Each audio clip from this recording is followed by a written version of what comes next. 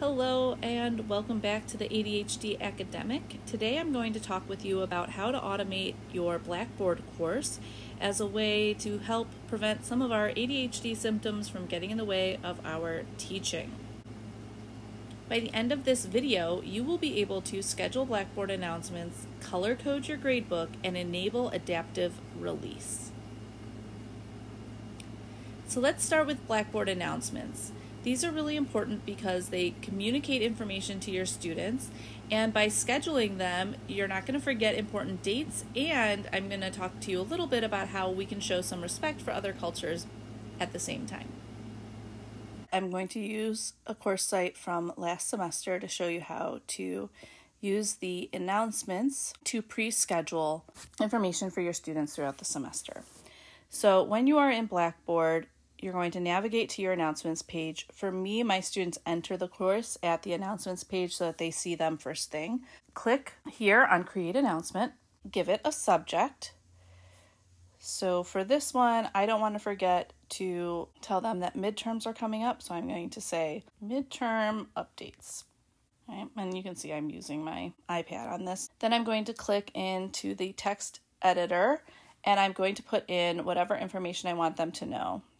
Please note that the week of October 12th is our midterm.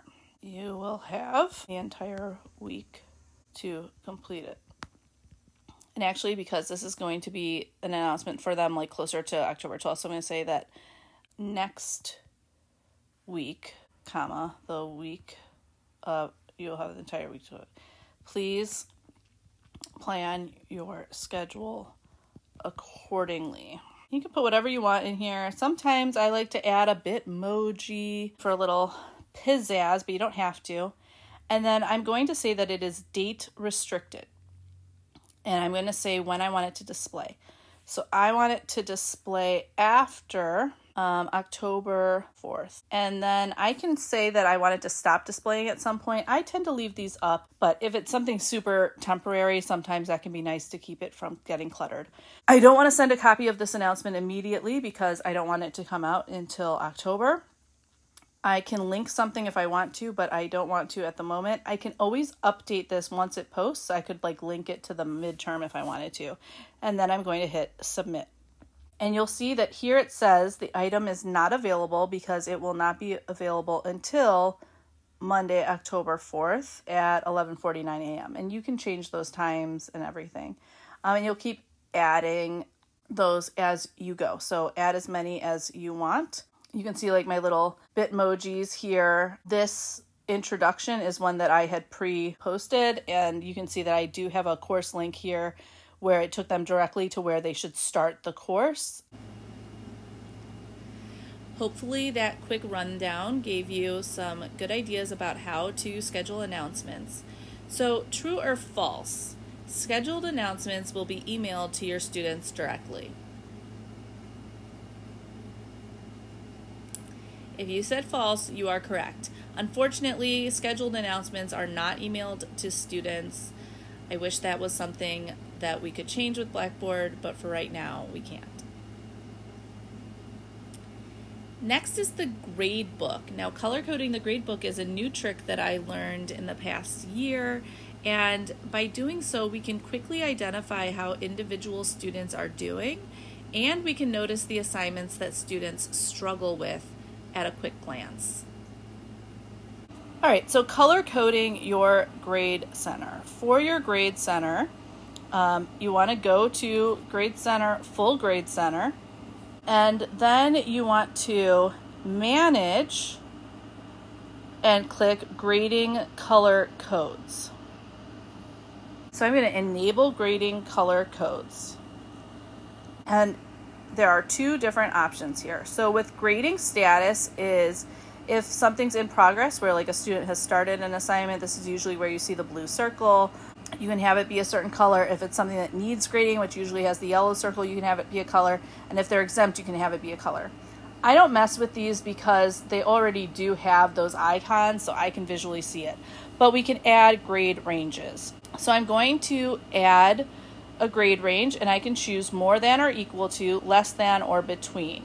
I'm going to stay with between if their grade is between a 90% and I'm going to put 150% just in case I ever have any extra credit in there.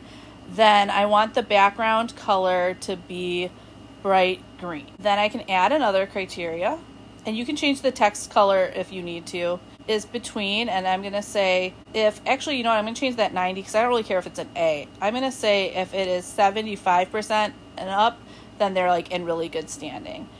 If they are between 65 and 75, I'm going to have them be orange. If they are between 50 and 65, then I want them to be Actually, this one I'm going to put as orange, and then I'm going to change this orange to yellow.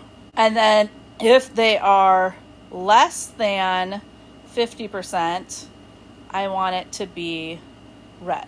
All right, And then I'm going to submit. And what I'm going to see here is a color coding of their scores.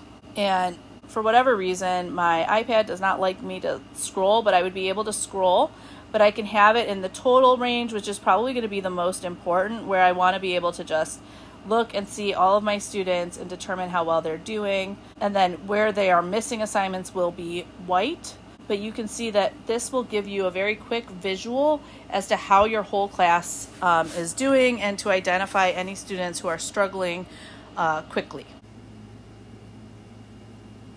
Please play with that some more. There's a lot of different ways you could use it, but I hope that the way I just described is helpful to you. So, quick quiz. Color coding your gradebook will A. Show whether students are passing assignments or not. B. Allow you to quickly identify struggling students. C. Save you time. Or D. All of the above. Did you say D? Because it is absolutely all of the above this is one of my favorite Blackboard tips and tricks. And lastly, we have adaptive release. So by setting up adaptive release, you can release materials at specific times and you can require students to complete one assignment before starting the next. This is another one where there's a lot of different ways that you can use it, but I'm going to show you just the basics. So this is especially helpful if you have your whole class built or if you, you know, have units built ahead of time, but you don't want um, students to see all of them at once, which I highly recommend as a best practice. You can say when they are going to release.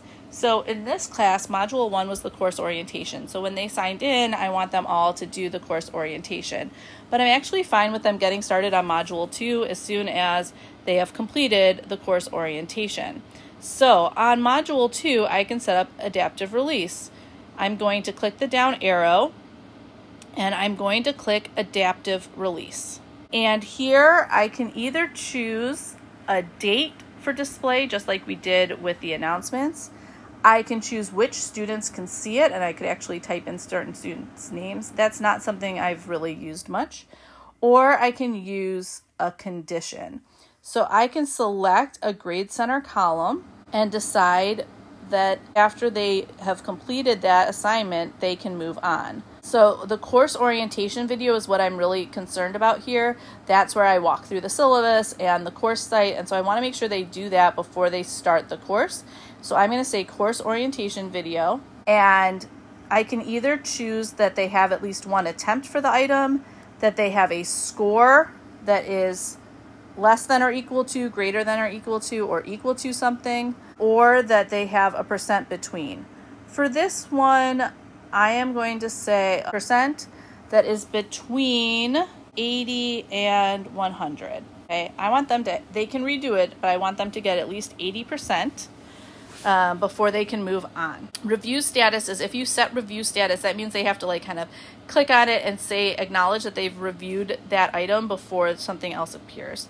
So then I'm going to hit submit. And now this will only show up once they have completed module one. Let me see if it will show us in student view. You'll notice now that announcement that I created earlier is not showing up because it's not October yet. So students can't see it even though you can. Going to go to modules and lessons.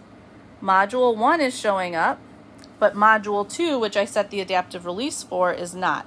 Now I don't have adaptive release set for the others, so they are showing up, but this one, because I have not watched that video and completed that assignment, is not showing up. Time to fill in the blanks. Adaptive release allows you to blank when blank is delivered to students. Adaptive release allows you to control when content is delivered to students. I think I spoiled that in the last slide. My bad. I hope that this was helpful for you. If you have any questions, please leave them in the comments or reach out to me on Instagram, and I promise to respond and answer them to the best of my abilities. As I always say, having ADHD has its challenges, but we can work with our ADHD and work smart so that it doesn't derail us throughout the semester. I hope that you have a wonderful week. You give yourself grace and treat yourself with kindness. And I'll see you next time for another tech tutorial or for the next episode of my podcast. See you later.